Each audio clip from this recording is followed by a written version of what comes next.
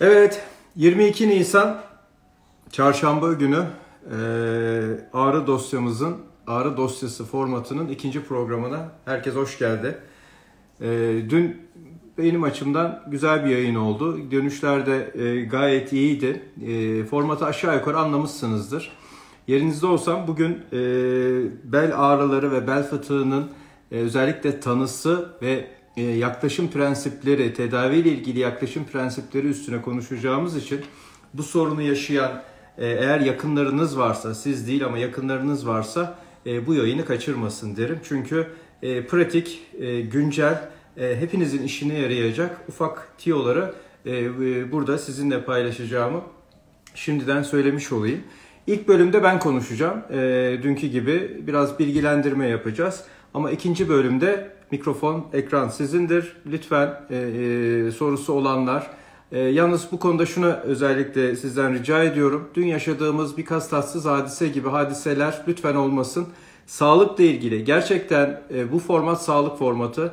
E, beyin cerrahı Doktor Kerem Bıkmaz olarak ben sizin karşınızdayım. Dolayısıyla ne benim vaktimi alın ne de e, gerçekten ihtiyacı olan başka dinleyicilerin, başka takipçilerin e, hakkını alın. E, ve bu konuda e, sizden özellikle rica ediyorum. Yayına bağlanacak kişiler e, Wi-Fi'yi kapatıp normal şebeke sisteminden bağlanırlarsa yayın kalitesi de çok daha güzel olacaktır. Bir de şu duyuruyu yapalım. Dün söylemiştik biliyorsunuz. Benim ağrı dosyası formatına canlı bağlanıp makul mantıklı sorular soran ve gerçekten bize ihtiyacı olan her yayında bir kişiyi şu dönemi atlattıktan sonra e, biz ücretsiz olarak muayeneye İstanbul Nörocerrahi Ağrı Merkezi'ni ağırlayacağız. E, bütün filmleriyle birlikte detaylı değerlendirmelerini yapacağız. Bu bağlamda da dün e, bağlanan e, sevgili dostlarımızdan Elvan Özgüner ki İstanbul Maltepe'de yaşıyor Elvan Hanım. Dün bize arayıp sıkıntılarından bahsetmişti. E, biz kendisini ilerleyen günlerde kliniğimizde ağırlayacağımızı ve e, muayenesini ile ilgili gerekli işlemleri başlatacağımızı e, şimdiden söylemiş olalım ve bu bundan sonraki dönemde de devam edecek. Şimdi e, biz dün ne yapmıştık? Dün bel fıtığının ne olduğunu anlatmıştık. Bel ağrılarının sebeplerini e, konuşmuştuk. Çok kısa özetlersek belimiz daha çok niye ağrıyor? Belimiz daha çok omurgamızı yanlış kullandığımız için omurgaya fazla yük bindirdiğimiz için ağrıyor. Yani kilomuza dikkat etmiyoruz, omurgayı zorluyoruz. E, oturmamıza, kalkmamıza, duruşumuza dikkat etmiyoruz. Duruş bozukluğuna bağlı olarak e, omurgaya yük bindiriyoruz. Dolayısıyla belimiz ağrıyor. Spor yapmıyoruz, düzenli egzersiz yapmıyoruz, sürekli masa başında oturuyoruz.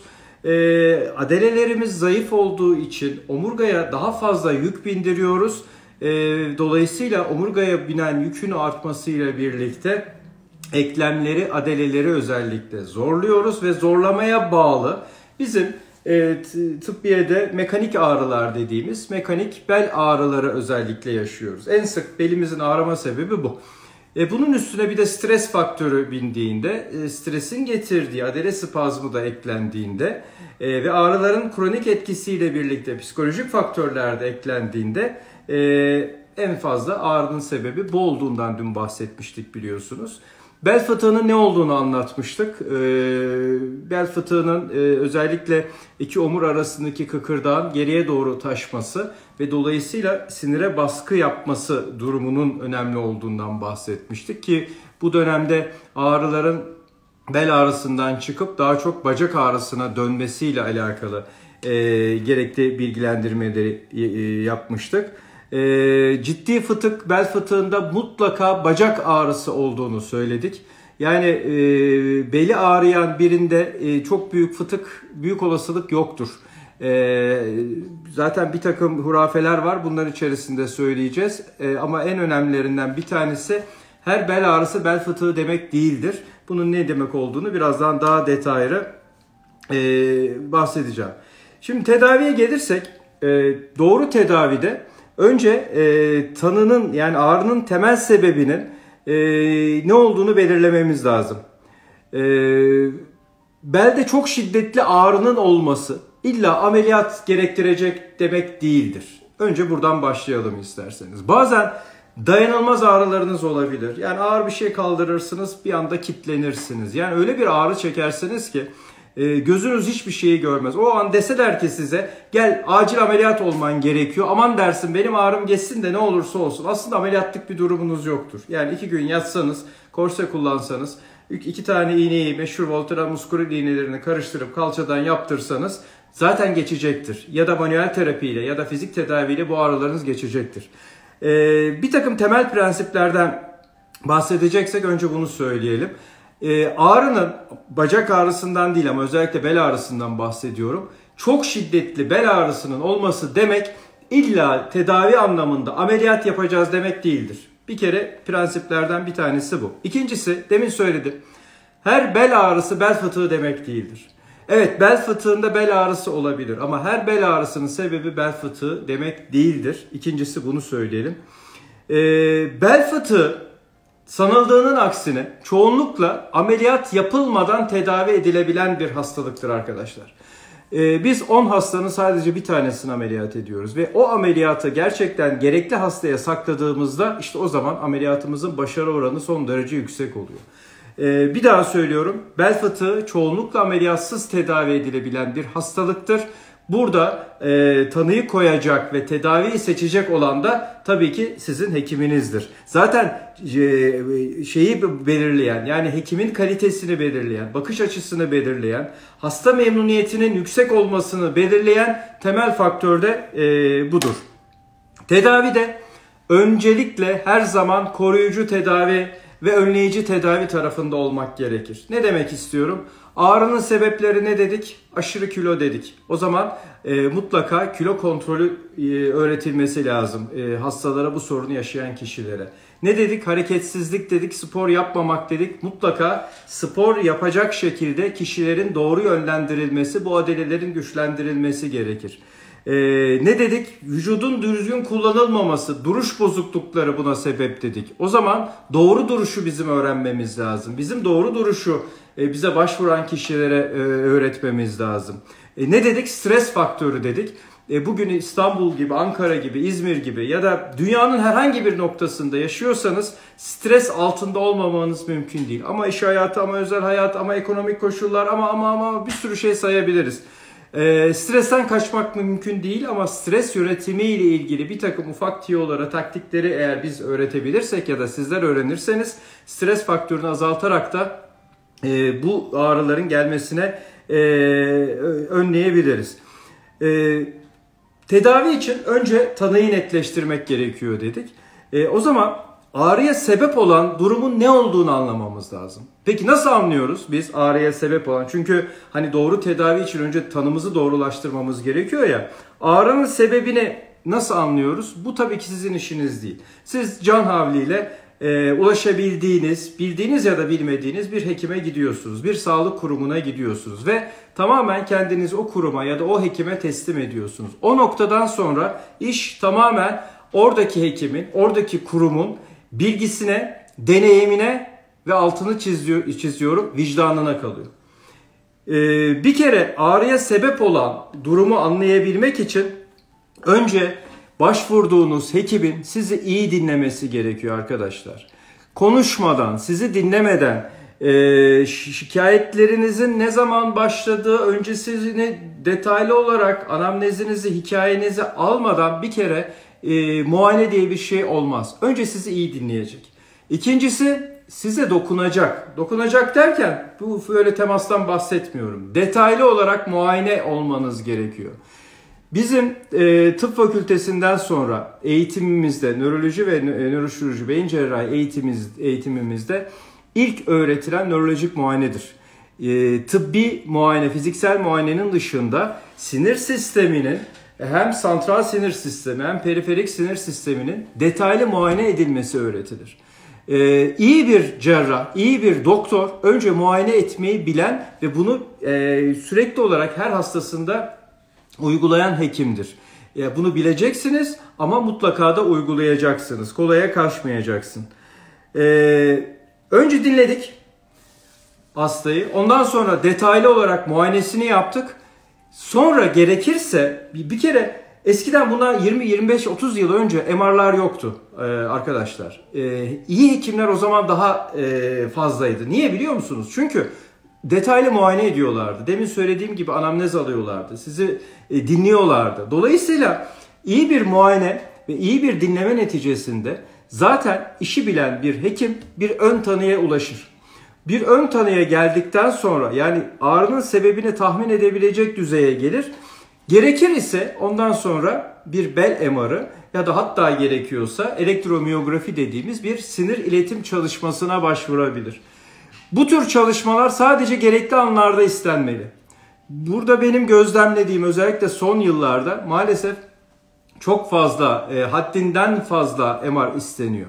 Ve tanılar daha çok MR üstüne konuyor. Biz MR'ları, raporlarını tedavi etmeye başladık belirli bir grup hekimler. Dolayısıyla e, ağrının sebebi aslında bir bel fıtığı değil iken, benim bahsettiğim bir adele ağrısı iken gereksiz hastaları ameliyat etmeye başladık ve dolayısıyla da e, hasta memnuniyetsizlikleri e, ortaya çıkmaya başlıyor. Tedavi noktasında mutlaka bilimsel tedavilerden şaşmamak lazım. Bugün bu sorun çok fazla e, artmasından dolayı maalesef o kadar enteresan tedavi yöntemleri, e, hiçbir bilimselliği olmayan, e, hiçbir etik tarafı olmayan, o kadar alakasız tedaviler kulağımıza geliyor ve hastalardan duyuyoruz ki lütfen ama lütfen ne sorun yaşıyorsanız yaşayın. İster omurgaya bağlı bir ağrı olsun, ister safra kesesi sorunu olsun. Sağlığınıza yönelik herhangi bir sorununuz varsa bilim adamlarının uyguladığı tedavilerden lütfen daha dışına çıkmayın. Bu tedaviler e, ışığında tedavinizi devam ettirin. Burada tedavi bölümünden önce bir takım hurafeler var. Bu hurafeleri e, burada sizin huzurunuzda e, konuşmak ve bunları yıkmak istiyorum öncelikle.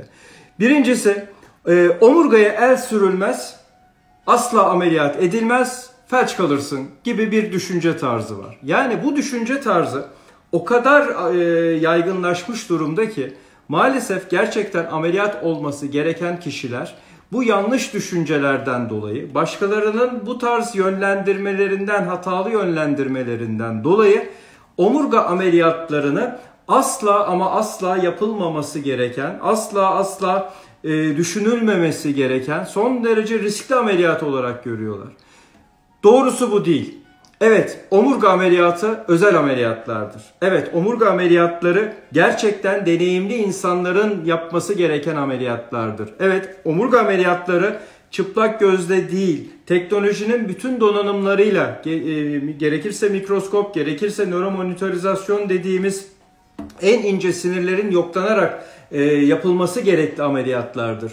Ama doğru şekilde, doğru zamanda, bunları dün de konuştuk biliyorsunuz. Doğru şekilde, doğru zamanda başarılı yapılan ameliyatların yüz güldürme oranı tahmin ettiğinizden çok daha fazladır. %95'in üstünde bir başarı oranı vardır. Sanıldığı gibi korkulacak ameliyatlar değillerdir. E, ameliyat olmaktan değil, doğru hekimlere ameliyat olursanız eğer, doğru zamanda ameliyat olursanız eğer e, bu ameliyatın başarısının çok yüksek olduğunu bir daha söylüyorum. Ameliyat olmaktan değil, geç kalmaktan korkun. Çünkü geç kalırsanız zaten korktuğunuz, felç olmaktan korkuyorsanız, eğer ciddi sinirde basınız varsa, e, eğer siz ameliyat olmazsanız zaten bir hafta, 10 gün, 1-2 ay içerisinde felç kalırsınız. Dolayısıyla e, korktuğunuz ne oldu? Korktuğunuz şey başınıza geldi. Omurgaya el sürülür. Gayet de güzel sürülür. Yeter ki nasıl sürüleceğini, nasıl el süreceğini bilen bir hekim tarafından yapılsın. Boşuna ameliyat olma, tekrar nükseder gibi bir düşünce var. Arkadaşlar e, biz ameliyatları yani arabaya biniyoruz. Arabanın kaza yapma riski var. Arabanız bir kere ufak bir kaza yaptınız. Bir daha binmiyor musunuz bu arabaya? Biniyorsunuz öyle değil mi? Yani çünkü bunun riskleri düşük. Bel fıtığında e, tekrarlama riski %5'tir. Yani 100 hastanın 5 tanesinde e, aynı bölgede bir lüks meydana gelebilir. Doğru. E, ama 95 hastada nüksetmez. Ve siz bu ameliyatı zaten olmak zorunda olduğunuz için oluyorsunuz. Eğer ameliyat olmazsanız bacağınızdaki ağrı geçmeyecek diye oluyorsunuz. Eğer ameliyat olmazsanız sinirdeki baskıdan dolayı bacağınız felç kalacak, felç kalmayın diye oluyorsunuz. Dolayısıyla tekrar nüksedecek diye ben o ameliyatı olmam düşüncesine gelirseniz 5 hasta içerisinde ben ya girersem düşüncesine girerseniz e, bu sefer siniriniz ölür. Hem boşuna ağrı çekersiniz hem de bir noktadan sonra sinir hasarına bağlı, bağlı bacakta ciddi uyuşmalarınız, kuvvet kayıplarınız, idrar tutamamanız meydana gelebilir. E siniriniz ölür.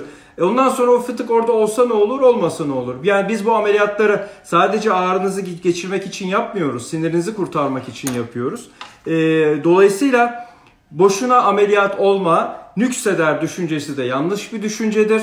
Ameliyat olmanız gerekiyorsa mutlaka olacaksınız. Ama demin söylediğim gibi bu konuda gerçekten deneyimli ellere e, kendinize emanet edeceksiniz. Cerrahi olan hiçbir hasta mutlu değil gibi bir hurafe daha var. Arkadaşlar e, sosyal medyada ben de görüyorum ya da internet üstünde bir takım bloglar var. Bu bloglarda dikkat edin hep mutsuz insanlar yazarlar. E, mutlu insanın zaten orada işi yoktur. E, dolayısıyla siz e, bu bloklara girip ya da etrafınızdaki Ahmet Bey, Fatma Hanım herhangi birinin kötü yönlendirmesiyle, kötü duyumuyla e, hiçbir hasta mutlu değil düşüncesi asla asla sizi yanıltmasın. Tam tersi demin söylediğim kriterlerde yapılan cerrahilerde %95 bir orandan bahsettim. Başarı oranı tahmin ettiğinizden çok çok daha fazladır e, haftalardır çektiğiniz iki büktüm haldeyken ameliyat yapılan bir mikro cerrahi sonrası uyanır uyanmaz dimdik hale gelirsiniz. Düşük ayağa gitmekte olan bir sinir basısını ameliyattan sonra erken aşamada bacağınızın dikleştiğini görürsünüz. Düşük ayaktan kurtulduğunu görürsünüz. Dolayısıyla korkmayın lütfen e, bu ameliyatlar eğer gerekiyorsa e, olun. Bir başka hurafe ee, bilmem nerede biri var, şurada biri var, iki çekiyor, üç vuruyor, düzeliyorsun ona git. Ee, lütfen, demin söyledim, bilimsel tedavilerin dışına çıkmayın. Yani biz kliniklerimizde maalesef o kadar yanlış şeyler görüyoruz ki. Zahide, sevgili Zahide'nin Zahide İletişim Programı'nda da bir, bu tarz iki tane hasta almıştık. Hastamız gelmişti, dostumuz gelmişti. Lütfen YouTube kanalımdan girin, izleyin. Ee, bu tür yanlış dokunuşlar sizi çok daha kötü noktalara çoğunlukla götürür. Ve bu kötü noktaların geç kalırsanız geri dönüşü olmaz. E, doktorlardan, bilimsel tedavilerden, bu işi gerçekten bilen insanların yaptıkları tedavilerden lütfen lütfen e, şaşmayın. E, bu tür e, ne olduğu belli olmayan, nereden eğitim aldıkları belli olmayan, o bölgenin en ufak anatomisine dahi e, vakıf olmayan, tamamen ezbere yöntemlerle e, yapılan tedaviler size her zaman faydadan çok zarar e, getirecektir. E, bunu unutmayın. Bir başka hurafe, hurafe demeyeyim de yanlış düşünce, e, özellikle kronik ağrısı olan kişilerde ben bu ağrı ile yaşamak zorundayım, bir daha düzel, düzelmeyecek düşüncesi. Ee, arkadaşlar kronik ağrıların dün biraz bahsetmiştim. En büyük sorunlarından bir tanesi uzun süreli bu ağrıları çektiğinizde ister istemez psikolojiniz bozuluyor. Moral motivasyonunuz bozuluyor. Anksiyeteniz artıyor. Korkuyorsunuz. Panik atağa giriyorsunuz. Depresif bir moda giriyorsunuz. Çünkü eşinizle dostunuzla bir şeyi paylaşamıyorsunuz. Ee, işi kaybetmek, işe gidemiyorsunuz, işinizi kaybetme korkusu yaşıyorsunuz ve bunlarla birlikte ağrı eşiğiniz düşüyor ve bir takım kaygılara, korkulara giriyorsunuz. Ya da doktor doktor dolaşıyorsunuz ee, birazdan niye mutsuz olunduğuyla alakalı onun konuda da bilgi vereceğim. Ama bir şekilde sorununuzu çözemiyorsunuz ve sorun çözülemediği için de ister istemez içinize kapanıyorsunuz ve ben bu aralarla artık yaşamak zorundayım düşüncesine giriyorsunuz. İstanbul Nörocerrahi Ağrı Merkezi'nin temel sloganı hiçbir ağrı kalıcı değildir. Biz 11 yıldır bu sloganla kendi kliniğimizde hizmet veriyoruz. Ve bu sloganın her zaman arkasındayız. Bizim hastalarımız bizi tanıyanlar bilirler. Ee, ben her zaman şunu söylerim hastalarıma. Bir kere kapıdan içeri girip bize kendini emanet eden hastanın biz sonuna kadar arkasında dururuz. Ee, en basit tedaviden başlayarak gerektiğinde cerrahi tedavide yapmak suretiyle hasta memnuniyeti çok yüksek bir kliniğiz. Ee, bu e, bizim çok çok başarılı doktor olmamızdan ziyade gerçekten sizleri dinlememizden ve bir ekip çalışması yapmamızdan kaynaklanıyor. Ee, o yüzden e, bu ağrılarla yaşamak zorunda hiç kimse değil. Ağrılar sizin hayatınızı yönetmeye izin verirseniz o ağrılar sizin hayatınızı yönetir. Ama ben ağrılarımın yeneceğim, ben hayatımın kontrolünü tekrar alacağım derseniz o zaman gerekli tedaviler için e, harekete geçmek durumundasınız. Neden peki bu kadar çok mutsuz hasta var? Son olarak bundan bahsedelim. Sonra size e, vereceğim, sizi dinleyeceğim. Temel başarısızlık nedenleri neler biliyor musunuz? Bugün eminim burada e, siz bizi takip edenlerde de e, aynı sorun var ya da etrafınızda e, çok fazla bu sorunu yaşayan kişi var. E, temel başarısızlık nedenleri bir kere e, ağrının sebebini tam anlamadan hekimler maalesef tedaviye giriyorlar. E, hastayı yeterli dinlemiyorlar. Hastaya yeterli şekilde dokunmuyorlar. Detaylı muayene yapmıyorlar. Ee, hemen bir filme yönlendiriliyor ya da hastanın zaten bir filmi oluyor elinde. Filme göre tedaviye gidiliyor. Ve burada da e, hekim eğer bir fizik tedavi doktoruysa ya da bir fizyoterapistse hadi gel sana fizyoterapi yapalım deniyor. Ameliyat doktoruysa, bir cerrahsa, bir beyin cerrahıysa ya da bir ortopedi doktoruysa bu arada omurgaya yönelik e, sorunlarda her zaman bir beyin cerrahını tercih edin. Çünkü omurga problemi demek sinir problemi demektir. E, omurga yönelik problemlerde bir beyin cerrahının tedavi üstlenmesi her zaman çok daha uygun olacaktır. E, bir cerraha gittiğinde hadi gel seni ameliyat edelim deniyor. Aslında ameliyat olması gerekenin e, fizik tedavi yapılmaması, fizik tedavi yapılması gerekenin de ameliyat edilmemesi lazım. Ama siz Dünyanın en iyi ameliyatını da gerçekten ameliyat ihtiyacı olmayan bir hastaya yaptığınızda bu hasta ameliyattan mutlu olmuyor e, arkadaşlar. Dolayısıyla e, başarısızlığın aslında tedavi kısmındaki en büyük sorumluluğu bizleriz, hekimler. E, bu konuda ben çıktım her platformda bir öz eleştiri yapıyorum. Daha girift çalışan, daha birbiriyle iç içe çalışan gruplara ihtiyaç var. Ee, bir herhangi bir X hastanesinin beyin cerrahına gittiğinde o beyin cerrahı size çok rahatlıkla e, sizin ameliyatlık bir durumunuz yok. Ben size çok e, güvendiğim bir fizyoterapist arkadaşım var ona yönlendireyim diyebilmeli. Bizim kendi kliniğimizin en büyük avantajı bu. İstanbul Nörocerrahi Ağrı Merkezi 11 yıldır e, ameliyatların, fizik tedavinin, fizyoterapinin, ağrı tedavilerinin, psikoterapi de dahil olmak üzere ağrılara yönelik her türlü tedavinin yapıldığı Türkiye'deki tek merkezdir. E, bu konuda da gerçekten gurur duyuyorum. İnşallah yakın zamanda e, daha da fazla duyacaksınız bizim yaptığımız bir takım yenilikleri. E, diğer mutsuzluk sebepler e, sebeplerinden bir tanesi hastalar arkadaşlar doğru bilgilendirilmiyor. E, beklentiler çok yukarıda tutuluyor. Yani şunu ben hastalardan duyuyorum. E, işte bel fıtığı ameliyat olmuş bir hastaya Ameliyat öncesi deniyor ki mesela ben bu ameliyatı yapacağım. Senin bir daha ömrün billah e, belin ağrımayacak. Ya böyle böyle bir e, lüksü yok. Bunu söylemeye hiçbir hekimin hakkı yok. Böyle bir mantık da yok zaten. Biz bel fıtığında ameliyatı sinir basısı için yapıyoruz. Bir kere bel ağrısı için zaten yapmıyoruz. Bacaktaki ağrıyı gidermek için, bacaktaki siniri kurtarmak, hasta felç kalmasın diye yapıyoruz. Ee, ve bunun %5 tekrarlama şansı var. Ya da yapıyorsunuz bir daha asla bir sorun ol. %5 tekrarlayabilir. Yani tekrarlandığında ne gerekiyorsa o zaman e, yapılır. Ama siz hastaya böyle derseniz ameliyattan 6 ay sonra hasta bir valiz kaldırdı. Demin söylediğim basit bir e, adele yüklenmesi ya da eklem kitlenmesine bağlı bir ağrı yaşadığı noktada o zaman gelir sizin kapınıza vurur. Der ki hani benim belim ağrımayacaktı?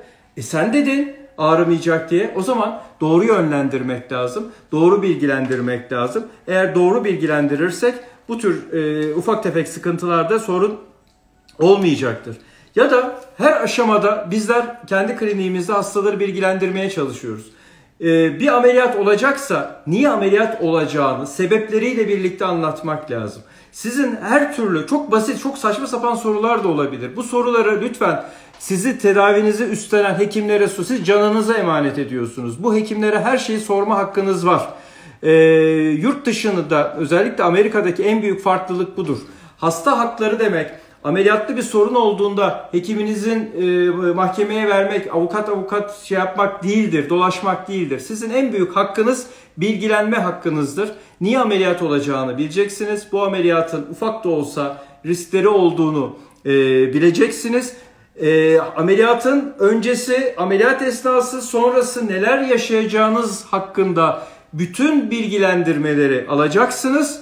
Bunları alırsanız zaten e, sürece hakim olursunuz. Beklentilerinizi ona göre koyarsınız. Ameliyattan iki gün sonra kalkıp 2 e, kilometre yol yürümek beklentisine girmezseniz 2 e, hafta sonra yürüyeceğinizi bilirseniz ya da 10 gün sonra araba kullanacağınızı bilirseniz e, bu tür sorunlarda olmayacaktır.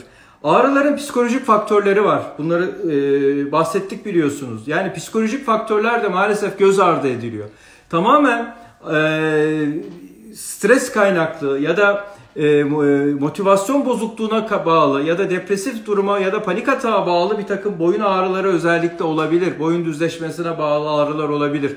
Siz o noktada bir boyun MR'ı e, hasbelkader size geldi ya da siz istediniz. Çıktı bir tane o ikinci derece fıtık var. Yani şimdi o fıtık için o hastayı ameliyat ederseniz yanlış yaparsınız. E, dolayısıyla özellikle ameliyat denen kişiler mutlaka gerektiğinde ikinci hekim görüsü alsınlar.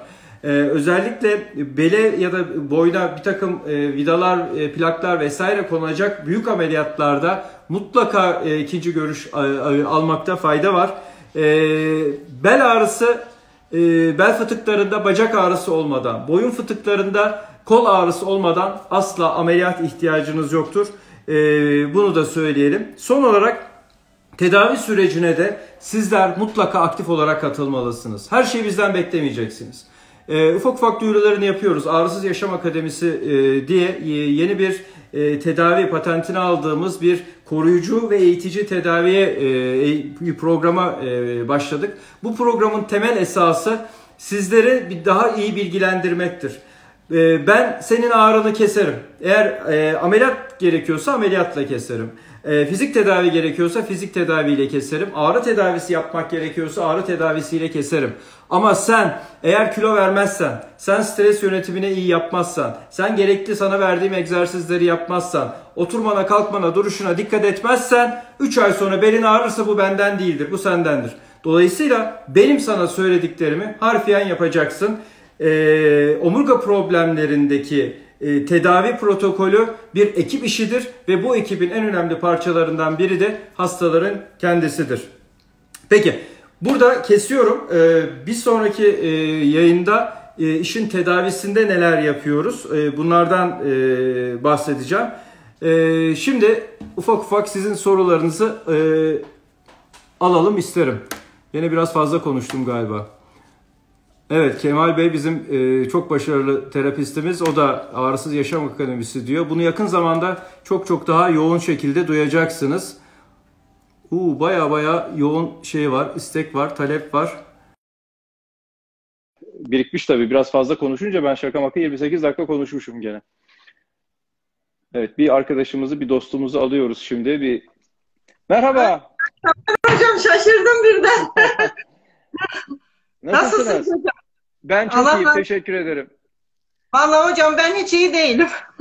Nedir efendim? Hemen çok hızlı alayım. Duruyorum hocam. İnanın ki e, kas gevşeticileri içiyorum. Zaten psikolojimiz tamamen bozuk bu virüsten dolayı. E şimdi nerede de ağrılar? Özellikle nerede ağrı oluyor? Hocam valla belim, bacaklarım tamamen uyuşuk. İşte belde kayma var ya hocam. Kanal daralması var, belde kayma var. Böyle tamamen yürüme şansım da yok zaten. Tamamen kalabiliyoruz. Efendim? Ayakta ne kadar kalabiliyorsunuz?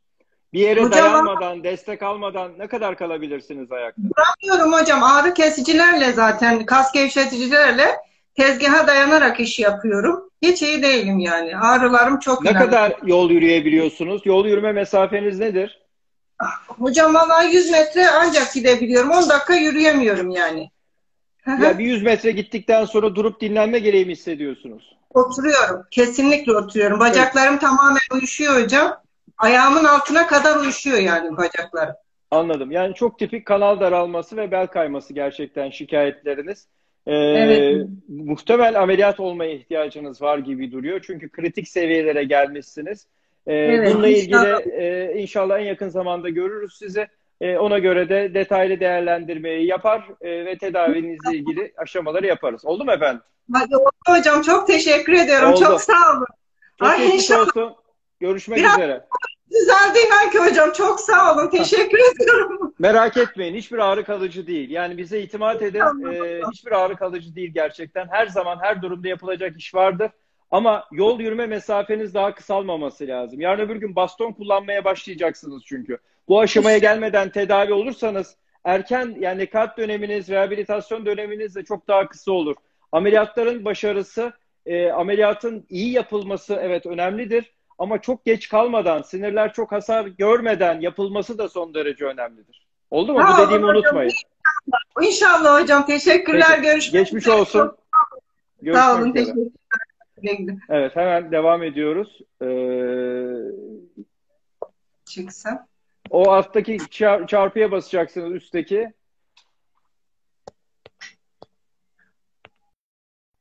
Peki ben şey yaptım, e, gönderdim Nur Hayat Hanım'a. Evet hemen hızlıca sorulara devam edelim.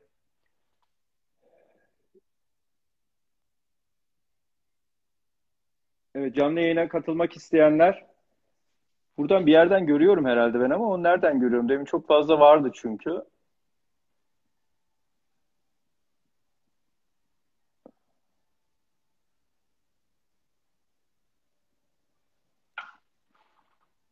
Evet, şimdi bir başka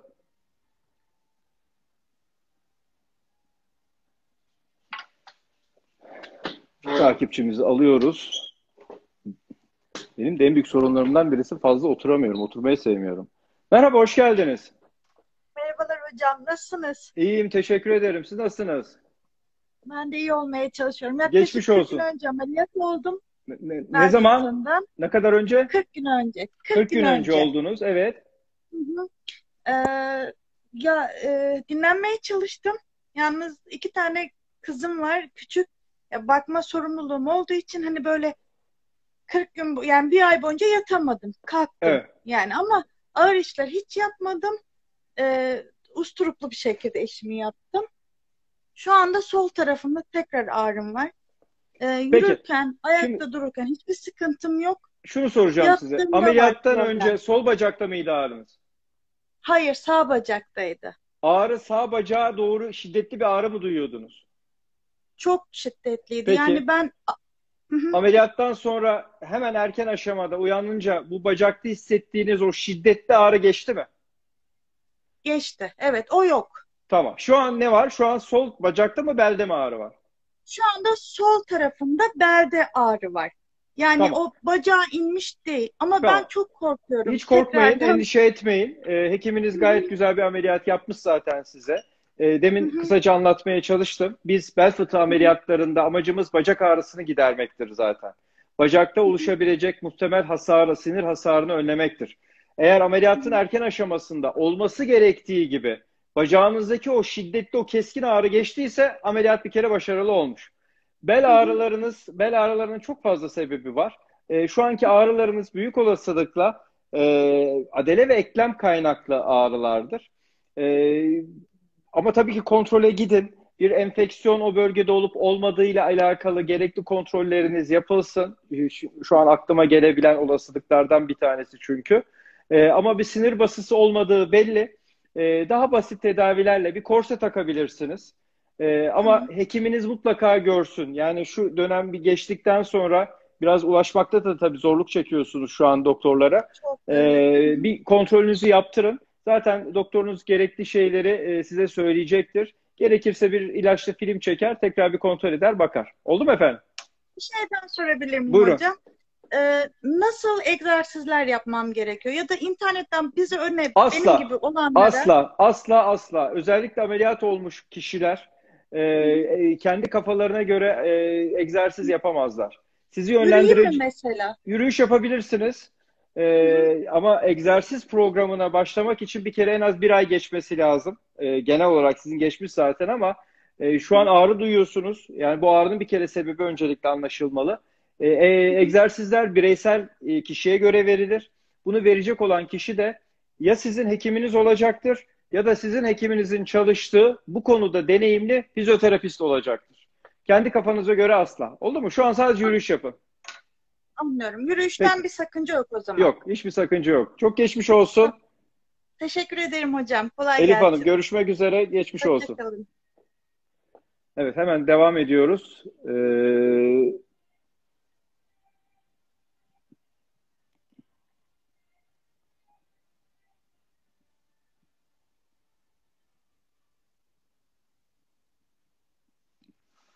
Valla o kadar yığılmış ki arkadaşlar aralarından seçmekte zorlanıyorum. Bir başka dostumuz bağlanıyor. Merhaba. Merhaba. Geçmiş İyi olsun. akşamlar doktor bey. Teşekkür ederim. Yatıyorsunuz galiba. Can- Çok mu ağrı var? Ee, ben beş kez bel fıtığı ameliyatı oldum. Hepsi fıtık mıydı yoksa Fıtıktı. Hepsi fıtıktı. E, vida var mı omurganızda? Vida kondu herhalde. Altı tane titanyum var. Peki. Ne zaman Ee, oldunuz son bazı- ameliyatı? Sekiz sene oldu. İlk ameliyatımı 40 yaşında olmuştum. Evet. 9 yıl çok iyiydim. 9 yıldan sonra tekrarladı. Ameliyat oldum. Başarılı olmadı. 20 gün sonra bir ameliyat daha oldum. O da başarılı olmadı. Sonra dördüncü ameliyatta İstanbul'a geldim. Orada ameliyat oldum. Demin sizin dediğiniz gibi bir daha bel fıtığı olmayacaksınız sözü verildi. Onun üzerine 15 gün sonra eşimi kaybetmiştim. O streslen bir fıtık daha oluştu. Yine kesinlikle sağ olsun. ameliyat olmak, teşekkür ederim. Yine ameliyat olmak zorundasınız dendi. Oldum.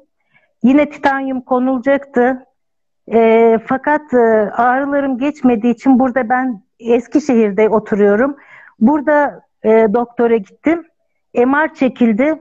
Fıtık alınmamış ve ikinci kez konulacak dedikleri titanyum konulmamış ve ben 8 yıldır ağrılar içindeyim. Şu anda 20 gündür yataktayım. Nerede Ee, yaşıyorsunuz? ayakta Eskişehir'deyim. Eskişehir'desiniz. Ya çok geçmiş Evet. olsun. E, Maalesef e, Çok bu sizin hikayeniz gibi hikayeleri biz e, günlük rutinimizde o kadar çok karşılaşıyoruz ki. E, işte mutsuz hastalar böyle oluyor. Yani e, yanlış ameliyatlardan ziyade yanlış yönlendirmeler, e, işte bazen maksadı aşan ameliyatlar, bazen erken ameliyatlar, yani ameliyat gerekmeden yapılan ameliyatlar. E, ya geçenlerde e, 12 ya da 13. ameliyatını yaptık bir hastamızın. Yani omurga Evet. tabii ki şey hassas bir bölge. E, ve Evet. olabildiğince e, az ameliyatla çözülmesi gerekli. Nokta atışları yapılması gerekli bir bölge. Evet. E, ya bizim size mutlaka faydamız olur E, ama e, inşallah şu Çok dönem istiyorum. şu dönem bir geçsin. Şu Evet. dönem geçtikten sonra lütfen e, gelin eski yeni Çok bütün istiyorum. filmlerinizle birlikte bir bakalım. En E, son 4 yıl MR çektirmiştim. evet. Burada artık yapabilecek hiçbir şey olmadığını söylediler. Ağrı merkezine yönlendirdiler. Orada da CD'yi gördükten sonra maalesef artık hiçbir şey yapamayız. Şimdi en büyük problem zaten e, merkezler arasındaki iletişimsizlikten kaynaklanıyor.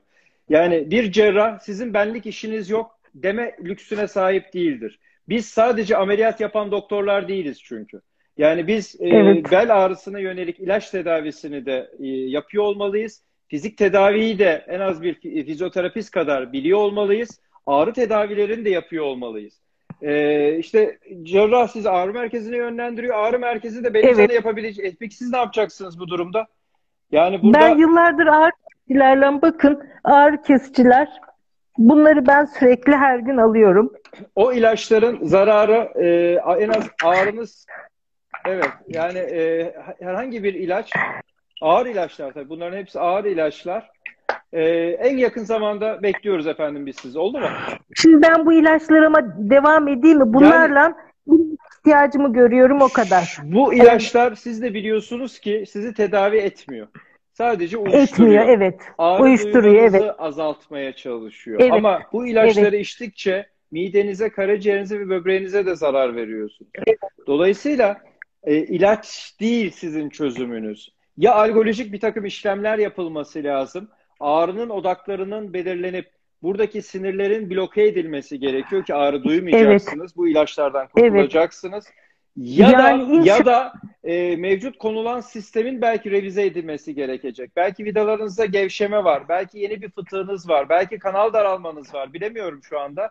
Var çünkü yol yürüyemiyorum. Şimdi 20 gündür yatıyorum ama ondan önce de bir 5 dakikadan fazla yürüyemiyordum. Hiç endişeniz olmasın. Her zaman yapılacak bir şey vardır. En yakın zamanda bekliyoruz. Oldu mu? Şu an, şu an ne yapabilirim? İlaçlarıma devam Şu an edeyim? Nasıl ilaçlarınızı geçireyim? devam edin. Korse takın. Ee, olabildiğince gene biraz biraz aktif olmaya çalışın. Ufak ufak yürüyüşler yapın evde. Ee, şu dönem geçer geçmez en yakın zamanda gelin. Oldu. İnşallah. Çok geçmiş İnşallah. Çok teşekkür ederim. Rica İyi ederim. akşamlar. İyi akşamlar. Evet. Evet hızlıca devam ediyoruz. Yani e, hikayeleri görüyorsunuz. E, o kadar çok benzer hikayeler var ki e, maalesef. İnsan tabii üzülüyor. E, her ameliyatın bir takım riskleri vardır. Yani e, ama demin size söyledim. E, ameliyat başarı oranları e, burada gördükleriniz gibi değil. Aslında e, çok çok yüksektir. E, yeter ki doğru zamanda e, doğru şekilde yapılsın ve hastalar doğru şekilde yönlendirilsin. Evet, bir başka takipçimizi alıyoruz.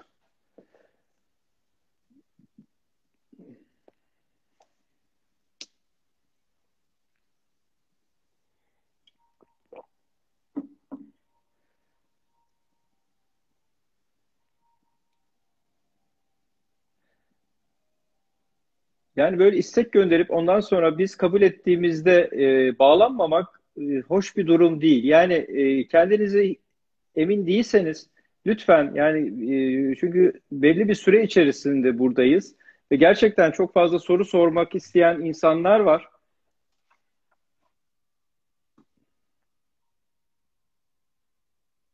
Duyuyor musunuz?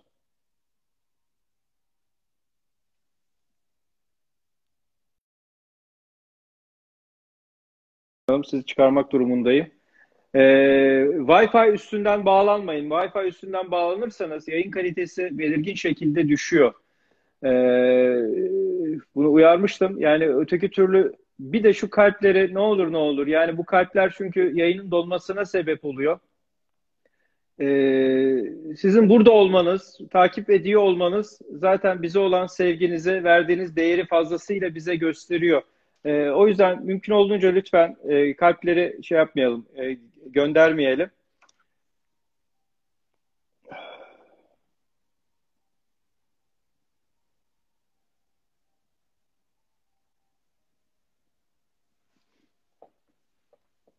Bir takipçimizi daha alıyoruz. Son bir iki takipçi. Sonra birkaç duyuruyla e, bugünkü yayını da bitireceğim.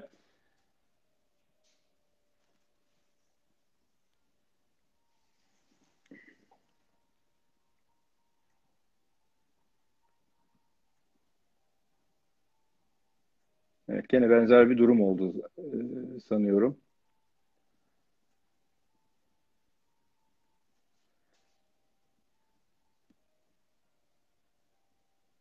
The topic of the conversation is the back pain and lumbar discal hernia. Sağ olsunlar yurt dışından da anlamadıkları halde takip eden bir grubumuz var. Onlara da selam olsun.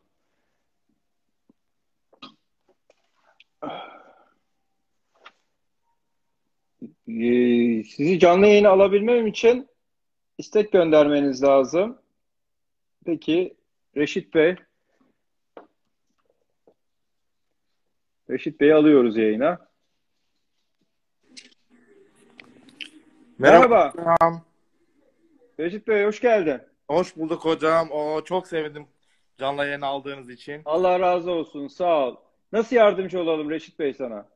He, hocam benim 2-3 senedir e, bel fıtığım var. Burada Almanya'da yaşıyorum. E, bel Neredesin fıtığı- Almanya'da? Hamburg'da kalıyorum hocam. Hamburg'da. Evet. Evet. Buraya bekleriz bir gün yolunuz düşerse. Allah razı olsun. Çok sağ ol. E, hocam e, bel fıtığım var e, sol tarafta. Burada gitmedim doktor kalmadı. En sonunda burada iğne terapisi gördüm. E, Bu iğne terapisini bir röntgen cihazı altında mı yaptılar sana? Evet, evet hocam. Tamam. Orada, e, Ağrı belde mi bacakta mı ağrı? önce belde vardı hocam. Belden sonra sol bacağıma vurdu. Tamam. Sol Peki bacağıma bu tedaviden sonra azaldı mı biraz bacak ağrın? bacak ağrım hiç e, azalmadı hocam. Hatta e, parmak uçlarıma kadar uyuşma başladı. Evet. Ve güç kaybı var ayağımda. Ne kadar ettiysem belimdeki ağrı hafifledi. E, ama bacak ağrım bir türlü hafiflemedi hocam. Ne kadar ne yaptıysam bir türlü Ne zaman yapıldı bu ağrı tedavisi? Ne kadar geçti üstüne? bir buçuk iki sene oluyor. Peki. Tekrar gittin mi doktorlarına? Tekrar gittim, yine gittim. Ee, bir şey yapamıyor, bulamıyorlar. Hatta ben geçen sene dördüncü ayda da Türkiye'ye geldim. Bir tane e, ismini vermek istemiyorum. Bir sevdiğimiz bir fizyoterapist var e, arkadaş. Evet. De tanıyorsunuz. Evet. Oraya geldim. Bir hafta orada da kaldım. Ee, ondan da bir fayda bulamadım. Ee, şey, bir fayda yani bir türlü yap- bulamadım yani. Hiç yattım. Sol tarafta yattığımda çok ağrım var hoca. Hiç duramıyorum oturduğumda. Şimdi tarif ettiğin tablo sinir basısı, bir siyatik ağrısı yaşıyorsun. Evet. Siyatik ağrısının en sık sebebi de bel fıtıklarıdır ve Evet. sinir basısıdır. Ee, eğer fizik tedaviden fayda görmediysen, eğer yapılan e, epidural steroid enjeksiyonu, sana yapılan tedavi ki biz de yapıyoruz kendi merkezimizde, Evet. e, bunlardan hiçbirinden yeterli yanıt alamadıysan ve ağrın artık iyice kronikleştiyse, e, bacakta uyuşmalar da artık başladıysa, Aynen. büyük olasılık bir mikro cerrahi ihtiyacın var. Yani belden yapılacak, şu kadar bir kesiden girilerek yapılacak, yarım saat 45 dakika süren bir ameliyattan çok fayda görürsün. Ee, şu periyot geçsin. Ee, hep söylüyoruz, hiçbir ağrı kalıcı değil. Her zaman yapılacak bir şey var. İnşallah. evet ameliyattan korkuyoruz. Ya bunu anlamamak diye bir şey ben kabul etmiyorum. Yani sorunun ne olduğu çok net. Hastayı iyi dinlersen, muayene edersen, filmleri güzel okursan, bakarsan, hiçbir şey yapamıyorsan, bazen şu olur. Yani hastanın çok ağrısı olur. Evet hocam. Ee, ama muayenesinde ve filmler bunu çok izah etmez. O zaman EMG yaparız, elektromiyografi yaparız. Sinirleri hepsini tek tek yoklama şansımız var. Gelişmiş teknoloji bize e, doğru tanıyı koymak adına o kadar çok e, teknik yöntem sunuyor ki. Evet. Ee, ama bunu yanlış kullanıyoruz. Ya erken kullanıyoruz, maksadı aşarak kullanıyoruz ya da doğru zamanda kullanmıyoruz. Ben sizi de en yakın zamanda bekliyorum. Almanya'dan çok hastamız var. Almanya'da orada yaşayan gurbetçilerimize de selam olsun. Çok sevinirim. Ee, Hastalık ortadan bir kalksın. En kısa zamanda size gelmek istiyorum hocam. bekliyoruz. Bekliyoruz. Merak etmeyin. Ee, inşallah daha sonrasında da burada paylaşacağız zaten size. İnşallah inşallah. Çok teşekkürler hocam. Görüşmek Öpüyorum. üzere. Geçmiş olsun. Sevgiler. Evet. Son bir takipçiyi daha alalım. Sonra dediğim gibi bir iki duyuru yapıp bugünü de e, kapatalım. Umarım bu tür yayınlar yararlı oluyordur. E, bununla ilgili beni e, e, bana e, haber verirseniz, yorum yazarsanız, e, bilgilendirirseniz e, gerçekten memnun olurum.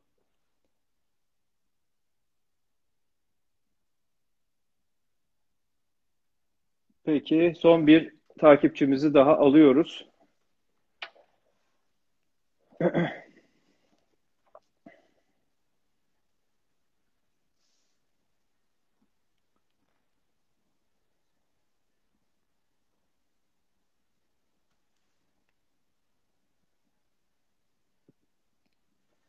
Ya işte bu insanın biraz tadını kaçırıyor arkadaşlar. Yani böyle takip isteği gönderiyorsunuz.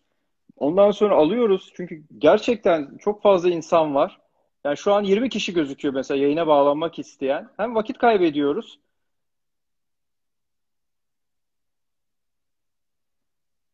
Yani e, gerçekten bağlanmak isteyenler lütfen bağlansınlar ve tıbbi sorunu olanlar lütfen bağlansınlar. Yoksa ilerleyen zaman içerisinde bu formatı bitirmek zorunda kalırız. Hoş geldiniz. Merhabalar hocam. Geçmiş olsun. Merhaba. Teşekkür ederim. Süpersiniz hocam. Takipteyim zaten. Sağ olun. Çok teşekkür Çok ederim. güzel bilgiler veriyorsunuz. Her akşam Sağ olun. Sağ olun. İnşallah. Benim Hemen çok hızlı alayım. e, boy, boyun fıtığım var. E, boyun düzleşmesi var. E, fibromiyalji teşhisi kondu. Şu an bacağıma e, bir, bir haftadır, 10 gündür e, kasılma, çekme gibi bir şey oluyor. E, bel MR'ım istenmişti 2 ay önce. Fakat şu andaki bu durumlardan dolayı MR çektiremedim ama boyun MR'ım var. Ee, onun haricinde sormak istediğim yani e, ilaç kullanıyorum. O biraz durduruyor. E, ilacım da e, Lirika. E, bu şekilde hocam. Yani çok ağrı Ee, şimdi şu dönemde bu tür ağrıları şu dönemde fibromiyalji ağrılarının artması çok derece doğal. Çünkü stres faktörü çok fazla arttı. Herkeste bir e, kaygı var, endişe var. E, hem bugüne ait endişe var hem geleceğe ait bir takım endişeler var. E, nerede yaşıyorsunuz? İstanbul, Ümraniye. Tamam. Şu periyot geçtikten sonra çünkü fibromiyalji sadece ilaçla tedavi edilebilen bir durum değildir. bunun gerektiğinde psikolojik faktörleri de tedavi edilmelidir. lirika ağır bir ilaçtır. Ben çok lirika kullanma gereği olacağını düşünmüyorum. E, bir filmlerinize bir bakalım. E, onun neticesinde iyi yapılacak bir fizik tedavi, e, biraz psikolojik destek programları, doğru ilaç kullanımlarıyla birlikte, biraz moral motivasyonun da arttırılması ile birlikte sorunu çözeriz diye düşünüyorum. Oldu mu? Şu dönem Hocam, bittikten sonra bekleyelim sizi. Tamam. Bir Buyurun. sorum daha olacak. Sabahları Hemen çok hızlı. E, sırtımın tutulmasından kalkamıyorum. Yani bir destek çocuklardan bir destek alarak kalkıyorum. Çok işte bunların hepsi birbiriyle oluyor. paralel. E, adeli spazmına bağlı, gerginliğinize bağlı. Sizin o gerginliğinizi biraz azaltmamız lazım. E, bu gerginliğe sebep olan faktörleri bunun için belirlemek lazım. Oldu mu? Endişe etmeyin. Evet çok sorun yaşıyorsunuz ama hallolacak nasıl, sorunlar. Nasıl ulaşacağım size hocam? E, sosyal medyadan ulaşabilirsiniz. Orada sayfalarda şeyler var, numaralar var. Ee, adama yazarsanız Google'a zaten nasıl ulaşacağınızı bulursunuz. Oldu mu efendim? Çok geçmiş olsun. Çok teşekkür ederim. Rica ederim geçmiş olsun. Peki. Şimdi e, son 7-8 dakika kalmış. E, ben tekrar her birinize tek tek teşekkür etmek istiyorum. Yani keyifli bir yayın oldu kanımca. İnşallah bilgilendiniz. E, geri dönüşleriniz benim için son derece önemli. Bu yayınları bu şekilde devam etmeyi ben düşünüyorum. Sizler burada olduğunuz sürece ee, sizler bu yayına destek olduğunuz sürece, bu yayınlardan faydalandığınızı bana hissettirdiğiniz sürece biz burada olacağız. Öncelikle onu söyleyeyim. Ee, bu gece biliyorsunuz sokağa çıkma yasağı başlıyor. Eminim herkesin haberi var ama e, korona ile alakalı iyi gidiyoruz. E, o konuda da size e, bilgilendireyim.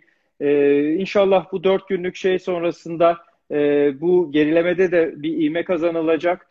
E, iyi gidiyoruz diye ama kontrol elden bırakmamazlık yapmıyoruz. Mutlaka e, sosyal mesafe olsun, e, hijyen olsun, diğer bütün kurallara e, riayet etmeye devam ediyoruz. E, Cuma günü biliyorsunuz yeni bir formata başlıyoruz. E, ben de çok heyecanlıyım bununla alakalı. E, duyurusunu yapmıştım. Hiçbir acı kalıcı değil diye. Bu sefer e, doktor kimliğimizi bir tarafa bırakarak e, Hayat Okulu'nda okuyan insan Adam Kerem Bıkmaz kimliğimizle karşınızda olacağız. E, birlikte bir e, denemenin içerisine gireceğiz. E, sıra dışı bir konsept olacak. Geçmişten aldığımız dersleri, geleceğe hayat hayallerimiz ve yaşadığımız anı konuşacağımız bir konsept olacağız. Hayatın sayfalarını birlikte e, çevireceğiz. Gerçek aşkları, dostlukları, sadakat, ihanet, merhamet, vefa, sevgi saygı gibi insanı insanı insan yapan bütün değerleri şiir tadında masaya yatıracak melodilerle e, süsleyeceğiz. Bu konsept içerisinde de gene aynı şekilde siz olacaksınız. Sağlıkla ilgili sorunlarınızı değil ama hayata dair yaşadıklarınızı dilerseniz bizlerle paylaşacaksınız. Karşılıklı sohbet edeceğiz. E, şiirlerle, müzikle e, hayatı karşılıklı olarak e, paylaşacağız. Ee, onun dışında başka duyurum var mıydı diye e, e, bakıyorum atlamamak adına. En son şunu söyleyelim. Yarın biliyorsunuz 23 Nisan. Maalesef çok kötü bir zamana denk geldi. E, 23 Nisan her zaman bizim için son derece özeldir. 23 Nisan her zaman e, bu ülkenin her ferdi için en özel günlerin başında gelir. Ki bu sene 100. yılı kutluyoruz 23 Nisan'ın. Ee, çok ama çok özel bir gün. Tabii ki gönül istiyordu ki coşku içinde e, sokaklarda e, bir zafer edasıyla e, bugünü kutlayalım. E, ancak eminim her Türk e, aynı coşkuyu e, evlerinde yaşayacak, e, evlerinde e, o zaferi içinde kutlayacak. E, e, yarın akşam 9'da hep birlikte İstiklal Marşı'nı e, gururla söyleyeceğiz. E, Ulu Önderimiz Atatürk'ün sevgisi herkesin yüreğinde. Bunu biliyorum. E, ve bu sevgi zamandan, mekandan, koşullardan bağımsız. Çok büyük bir sevgi. E, içinde çünkü minnet duygusu barındırıyor. E, içinde çünkü çok büyük bir saygıyı içeriyor. E, ben bütün ulusumuzun, her birinizin 23 Nisan Ulusal Egemenlik Bayramı'nı e, şimdiden kutluyorum. Bir taraftan da e, Ramazan başlıyor. E, Ramazan e, da so, son derece özel. E, inşallah bu başlayan Ramazan e, da her birimize huzur, sağlık ve koronasız e, günler getirir e, temennisinde bulunmak istiyorum. Cuma günü hiçbir acı kalıcı değil konseptine saat 11'de olacak. Unutmayın duyuruları takip edin. E, bir gün ben de biraz dinleneyim. E, nasıl yapacağımla alakalı e, bir takım tereddütlerim var. Çünkü ev ortamında yapacağız. Şimdiden olacak bir takım aksaklıklarla ilgili şimdiden özür diliyorum.